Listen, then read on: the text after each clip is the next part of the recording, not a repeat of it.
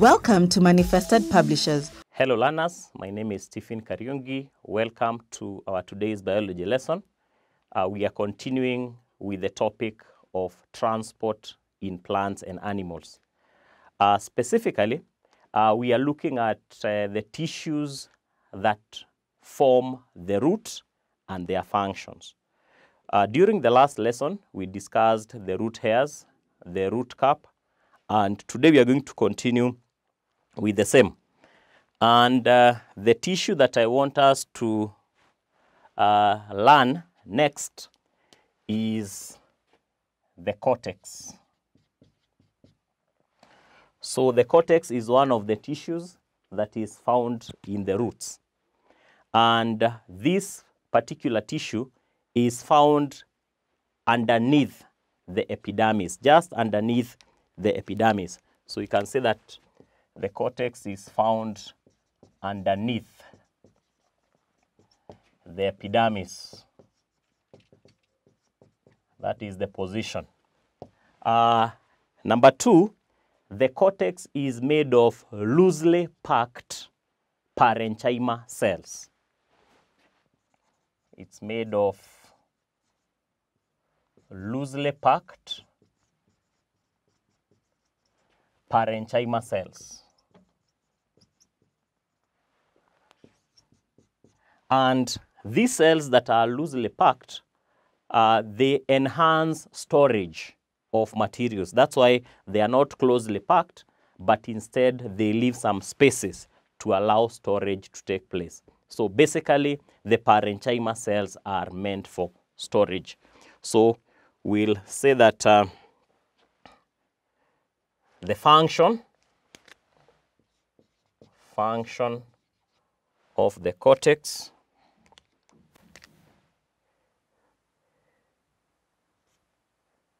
has parenchyma cells for storage of materials such as water and nutrients. Now, the next uh, tissue that we are going to look at is the endodermis.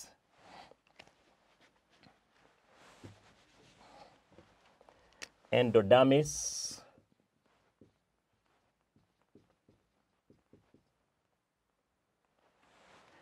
And uh, endodermis is found beneath the cortex and it's made up of a single layer of cells.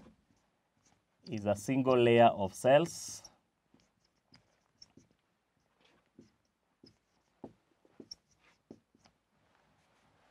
Beneath the cortex.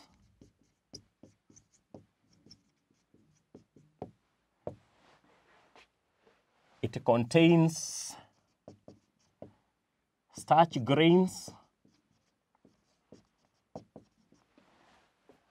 and Casparian strip.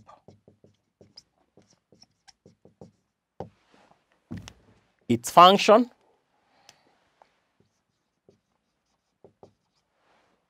the presence of the Casparian strip, which is impervious, is the one that controls the movement of water and mineral salts into the xylem. So uh, we can uh, mention here that uh, the endodermis controls the movement of water and mineral salts controls the movement of water and mineral salts into the xylem. Then the next tissue that we are going to discuss is the pericycle.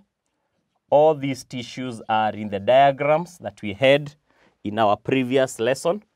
Uh, the pericycle is found underneath the endodermis.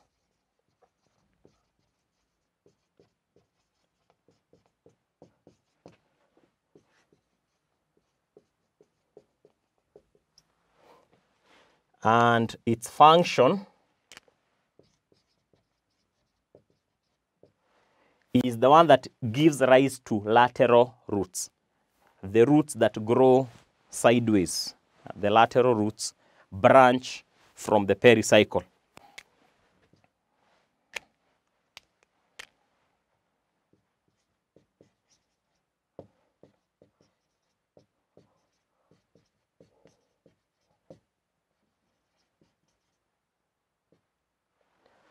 So that is it.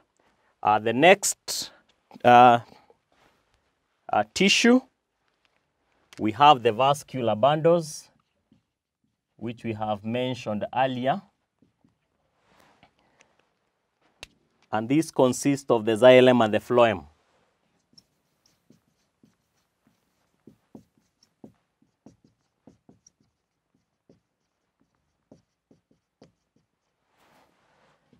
The xylem transports water and mineral salts.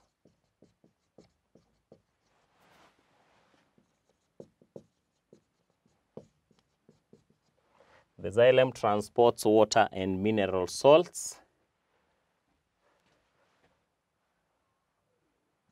from the root to the leaves. Then we have the phloem. This one transports products of photosynthesis. That is the manufactured food. Transports products of photosynthesis from the leaves, of course, where the photosynthesis occurs, to the rest of the plant.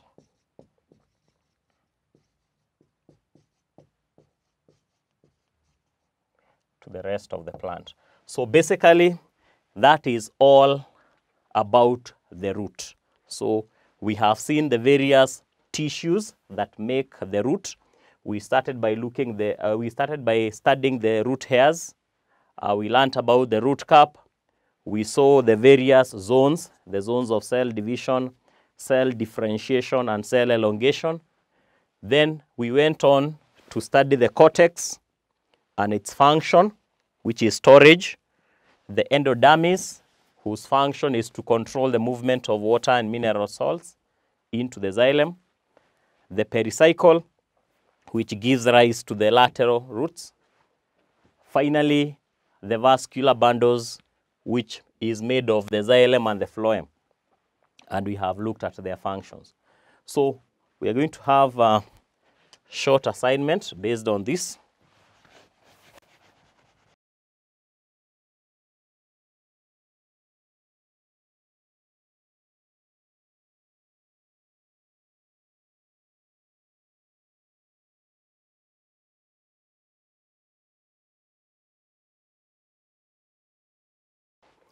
So the first question, state the main difference between monocotyledonous root and dicotyledonous root.